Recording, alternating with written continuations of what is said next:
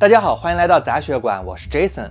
今天我们要说一个让人揪心的案件故事：美国的一名美丽少女被人用最恶毒的手段残害，而凶手在逃避调查期间又对一名台湾女性痛下杀手。虽然最后警方抓住了他，但是面对两起命案，他究竟能否得到应有的惩罚，还是未知之数。Cortland 是位于美国密西西比州北部的一个只有五百个人口的小镇。长期以来，这个小镇都是比较安宁祥和的。但是在二零一四年十二月六日，一起超级残酷的血案震惊了整个小镇。当天晚上八点左右，一名镇民在回家的路上发现了路边有一辆汽车正在燃烧，于是他就报了警。消防队赶到之后，就开始展开了灭火的工作。因为当时在车上没有见到人，消防员们都觉得这可能是汽车自燃，车主弃车逃生，或者是车辆被偷，盗贼烧车消灭证据。于是他们有条不紊地展开了灭火的工作。而一名刚入职不久的年轻消防员 John 被指示在附近搜索一下，看看是否有车主的下落或者火灾的线索。而就在 John 往附近的树林里走了没有几步之后，就看见了一个只有在恐怖片里才能够出现的场景：一个全身赤裸、焦黑的人影，摇摇晃晃地、缓慢地行走在树林当中，就像一具行尸走肉。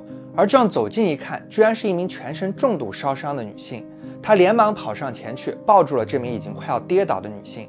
可以看得出来，她不仅全身没有一块完好的皮肤，她的眼睛也因为大火的炙烤已经完全丧失了视力。但是他靠着无比坚强的毅力，依然在奋力的求生。此情此景让 John 的眼泪都快要流出来了。他连忙轻声的安慰怀里的女性，然后又大声的呼唤同伴们过来帮忙。而一方面为了确定他的呼吸道是否被烧伤，一方面也是想要弄清楚发生了什么。这样连声的问女孩：“这究竟是谁做的？”而这名女性不完整的嘴唇当中含糊的吐出了一个好像是 Eric，或者也可能是 Derek 的人名。被送到医院之后，这名女性的身份终于被确定了，她就是当地的居民，十九岁的少女 Jessica Chambers。Jessica 的生活一直都很坎坷，从小就经历了父亲入狱、亲友惨死等等的磨难，塑造了她坚毅不屈、努力生活的性格。她是学校里的啦啦队员，课余时间还在附近的贝兹维尔城兼职做服装销售。而他身上的重度烧伤，是因为有人将燃油从他的脸上和脖子上浇下，然后点火造成的。而他全身的三级烧伤的面积高达百分之九十八，医生们看了之后都直摇头，知道已经回天乏术了。第二天早上，Jessica 的母亲握着他的手，和他说：“如果实在太痛苦的话，就离开吧，不用担心妈妈和爸爸。”可以想象，作为一个母亲对自己的孩子说出这种话的时候，她的心里有多么的难过。而之后没有过一会儿，Jessica 就永远的停止了呼吸。很快的，这起案件就不仅仅震惊了当地人，更是在整个美国掀起了轩然大波。人们都在问，究竟是谁对这样一个阳光又坚强的女孩下了如此的毒手呢？根据 Jessica 母亲的回忆，在遇害的当天，Jessica 和两个朋友一起度过了一个上午。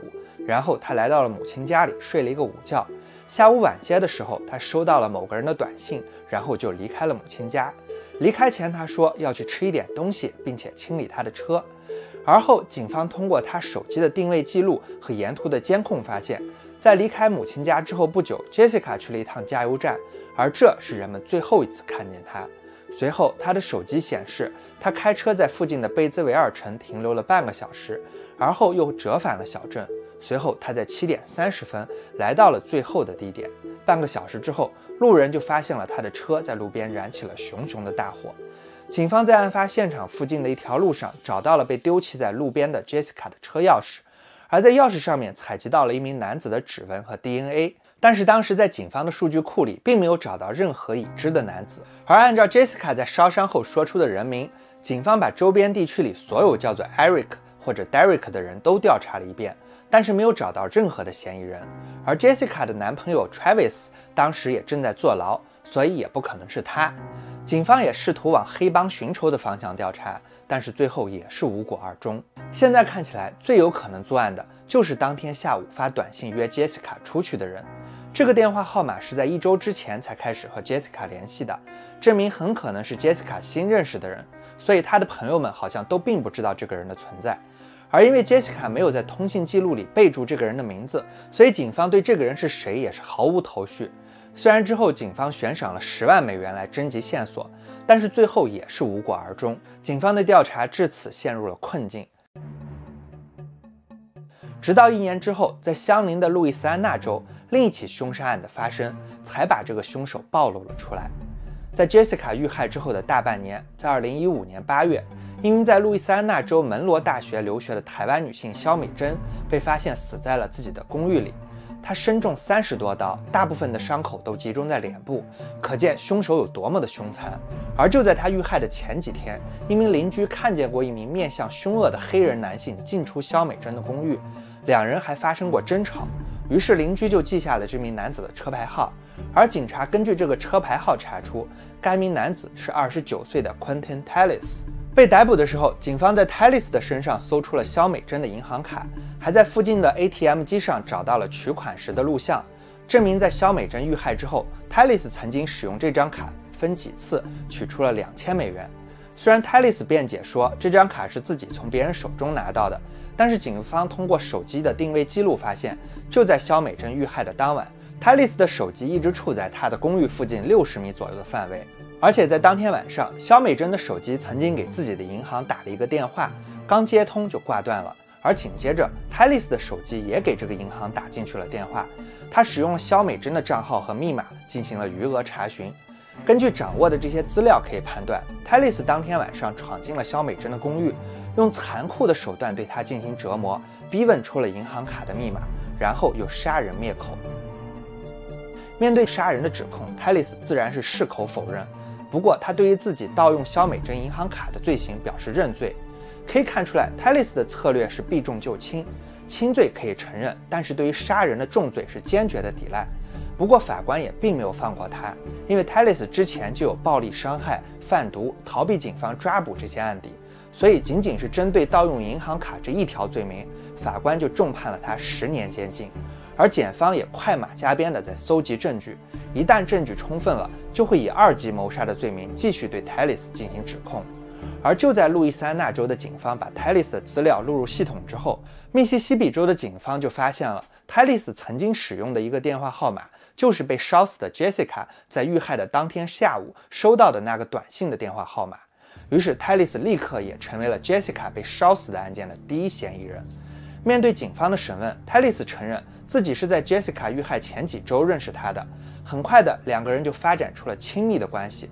不过，因为泰利斯有黑帮背景，所以 Jessica 就并没有告诉自己的朋友和家人有关于他的事情。泰利斯说，在 Jessica 遇害的当天，自己只是在早上和他见了一面，之后就一直没有联系了。但是，警方掌握的手机定位记录显示。泰利斯和 Jessica 的手机在那天下午一直到晚上的七点三十分，也就是 Jessica 出事前的半个小时，始终都在一起。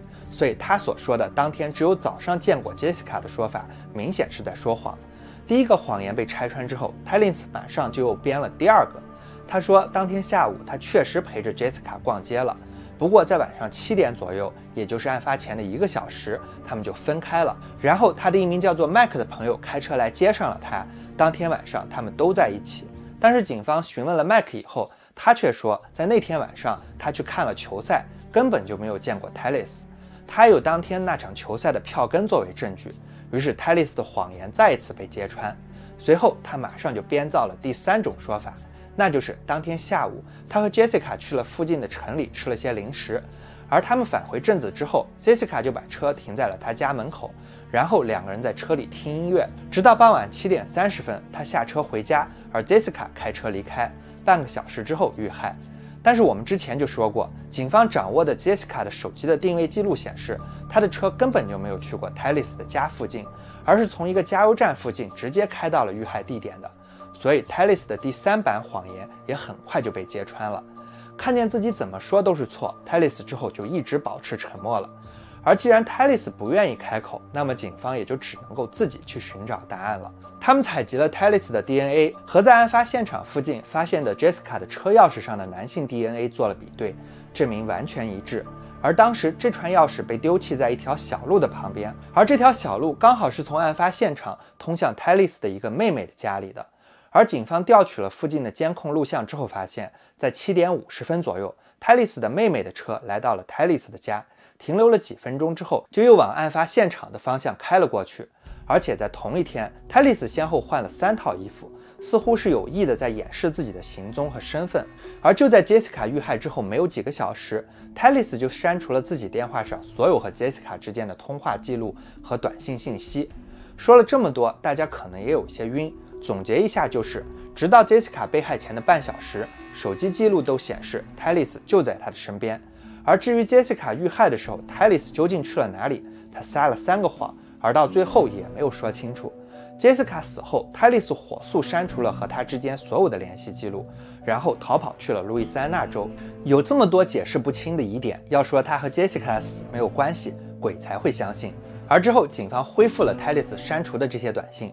发现，在 Jessica 遇害之前的几天，泰利斯曾经多次在短信里要求和她发生亲密关系，但是都被 Jessica 拒绝了。而在 Jessica 遇害的当天，泰利斯更是四次在短信里提出要发生性关系，也都被拒绝了。根据这些信息，警方渐渐还原出了当天惨案发生的一种可能性，那就是当晚在和 Jessica 道别的时候，泰利斯因为自己提出的要求多次被拒绝而恼羞成怒。于是他伸出手去掐晕了杰西卡。为了逃脱伤人罪的惩罚，他开着杰西卡的车来到了起火的地点，下车步行来到了附近的他自己妹妹的家里，开了他的车回到了自己的家，拿上了点火的燃油，然后又返回了现场。他把油泼到了 Jessica 身上，又点了火之后就逃离了现场。而 Jessica 在大火中因为剧痛醒来，从车里逃了出来，进入了树林，然后才上演了故事开始时那惨烈的一幕。二零一六年二月，检方把泰利斯从路易斯安那州引渡回到了密西西比州，以谋杀 Jessica 的罪名正式对他提起了控诉。二零一六年底，针对他的审判开始了。虽然密西西比州保留了死刑，但是检方为了提高定罪的成功率，最后他们决定只寻求对泰利斯终身监禁的处罚。但是泰利斯依然坚持声称自己是无辜的。法庭上，他的辩护律师也说。警方掌握的所有的证据都是间接的，是建立在猜测的基础上的。而且，就连 Jessica 自己也在现场说了，凶手的名字叫做 Eric 或者是 Derek，所以显然 Talis 是无辜的。不过，检方对此也是有备而来，他们找到了一组医学专家，他们说，鉴于被发现的时候，Jessica 的脸部、喉部还有嘴唇都被重度烧伤，舌头也肿了起来，这让他很难准确的发声。尤其是像是 C 和 T 这样的声音，而证据就是急救人员赶到之后，杰斯卡曾经说过自己的名字，他的姓是 Chambers，但是当时他说的是 Rambers，所以很有可能他当时想说凶手是 Talis，但是因为严重的伤势让他说错了。而且检方检查了 Jessica 的手机，发现他在遇害之前的三十天内都没有联系过任何叫做 Eric 或者是 Derek 的人。就这样，控辩双方分别抓住对自己有利的观点，在法庭上进行了激烈的辩论。这种情况很明显的也影响到了陪审团。在二零一六年十一月要宣读判决的当天，陪审团把他们的决定递交到法官手上的时候，上面居然写的是无罪。这很明显也出乎了法官的意料。他没有宣读结果，而是再次和陪审团员们确定这个判决是他们一致认可的吗？然后发现是陪审团员们对规则的理解发生了偏差。事实是，他们当中有一些人认定泰利斯有罪，而有些人坚持泰利斯是无罪的。在讨论当中，他们互相都无法说服对方。而规则上说，必须所有人一致认同泰利斯有罪，才能够判处他有罪。于是陪审团认为，鉴于他们无法取得共识，所以只能够裁定泰利斯是无罪的。不过很快的，法官就和他们解释说，就算是无罪判决，也必须是陪审团一致认定无罪才能够成立的。于是陪审团们又一次回到了讨论室。几个小时后，他们还是无法得到统一的意见。最后，法官只能够宣布审判无效。于是，在两年之后的二零一八年九月，法庭又进行了第二次审判。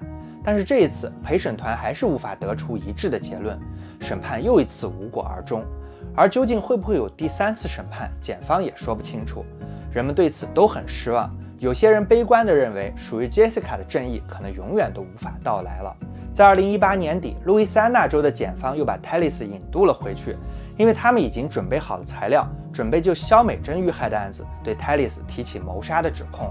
但是具体的审判日期却一拖再拖。直到今天也没有确定。只能够希望负责肖美珍案件的检方这一次能够把证据准备的充分一些，能够顺利的给泰利斯定罪吧。